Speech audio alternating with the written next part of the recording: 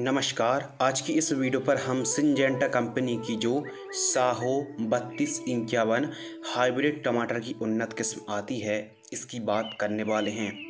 यदि हम टमाटर की उन्नत खेती कर रहे हैं और उन्नतशील किस्मों में जो हाइब्रिड वैरायटी होती हैं, साहो का नाम ना आए, ऐसा तो हो ही नहीं सकता।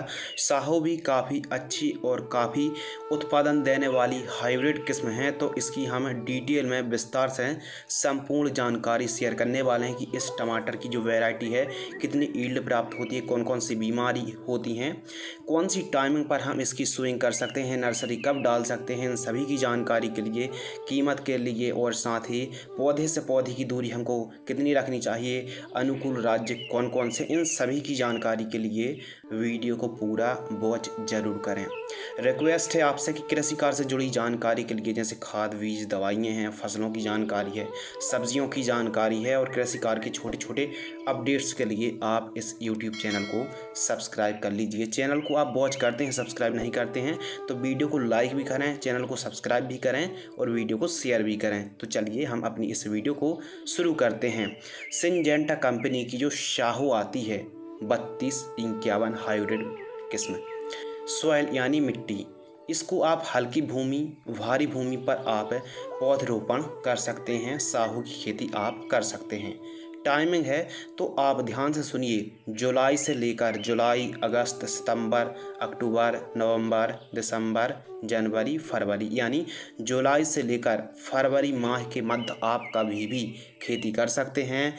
यदि आप समर सीज़न पर भी इसकी खेती कर सकते हैं, इसकी खेती आप खरीफ सीज़न पर भी कर सकते हैं। अभी बरसात के सीज़न पर यदि आप इसकी खेती करना चाहते हैं तो आप मई के आसपास नर्सरी तैयार करके जुलाई महीने पर आप प्लांटेशन कर सकते हैं। तो हमारे किसान भाई, बरसाती दिनों पर भी शाहों की खेती कर सकते हैं। फलों का वज़न तो फल का जो वज़न होता है, पचहत्तर ग्राम से लेकर नब्बे ग्राम तक का फ्रूट का साइज़ हो सकता है।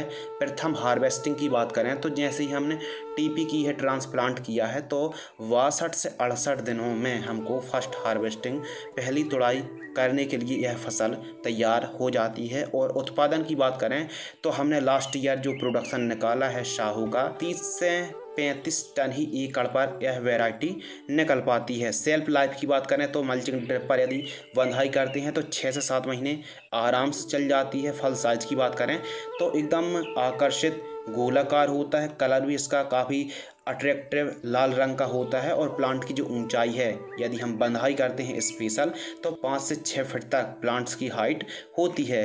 प्रति पौध फल की बात करें तो दस किलोग्राम से लेकर पंद्रह किलोग्राम तक अधिकतम एक पौधे पर फल लगते हैं। कीमतों के बारे में बात करें तो 10 ग्राम की सीड्स की जो कीमत है पैकिंग साइज़, सात सौ रुपये से लेकर आठ सौ पचास रुपये तक की कीमतें देखने के लिए मिलती हैं। टेन ग्राम की जो पैकिंग साइज़ है, प्रति एकड़ सीड्स तो यदि आप एक एकड़ पर साहू को लगाते हैं तो चालीस ग्राम से लेकर साठ ग्राम सीड्स की आवश्यकता पड़ने वाली है। डिस्टेंस के ऊपर भी बात कर लेते हैं तो पौधे से पौधे की दूरी दो फिट रखिए जगजैग प्लांटेशन करिए, एवं वेट से वेट की जो दूरी है, आप तीन फिट रख सकते हैं, और सेंटर से सेंटर की दूरी पाँच फिट आप रख सकते हैं।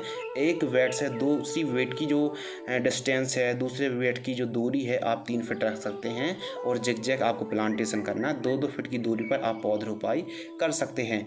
अनुकूल राज्यों की बात करें तो इसे मध्य प्रदेश पर, उत्तर प्रदेश पर, महाराष्ट्र पर, पंजाब पर, हरियाणा पर, इसके अलावा आंध्र प्रदेश पर, गुजरात पर, इसके अलावा बिहार है। छत्तीसगढ़ है और कर्नाटक है, आंध्र प्रदेश है, तमिलनाडु है, वेस्ट बंगाल है, राजस्थान पर भी, झारखंड और केरल पर आप इस वैरायटी को लगा सकते हैं।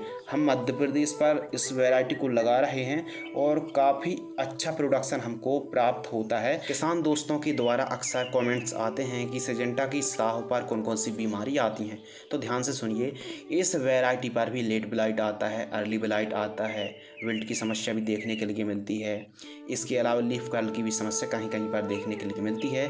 तो इसके लिए, न केवल इस वैरायटी के लिए, बल्कि अन्य वैरायटी के लिए भी हमको लेट ब्लाइट है अर्ली ब्लाइट है विल्ट है, लीफ कर्ल जैसे रोग, बीमारी फंगस की रोकथाम करने के लिए हमको वीकली कीटनाशक दवाई हैं, फफूंदनाशक का स्प्रे करना चाहिए और फ्रूटिंग स्टेज पर ज़्यादा से ज़्यादा फास्फोरस है पोटेशियम युक्त खादों का प्रयोग करना चाहिए और फल की अवस्था पर यदि हम पोटेशियम युक्त खादों का प्रयोग करते हैं बोरॉन का प्रयोग करते हैं ह्यूमिक एसिड का प्रयोग करते हैं और फेरस सल्फेट का प्रयोग करते हैं तो काफ़ी हमको अच्छी ईल्ड प्राप्त होगी।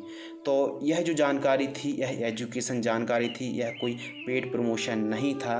तो सिजेंटा कंपनी की साहू बत्तीस इक्यावन वेराइटी को भी आप लगा सकते हैं। यदि गर्मियों के दिनों पर आप इस वेराइटी को लगाते हैं तो जो टेम्परेचर है, बयालीस पैंतालीस डिग्री से ऊपर जाता है तो इस वेराइटी पर वर्निंग की समस्या भी आ सकती है।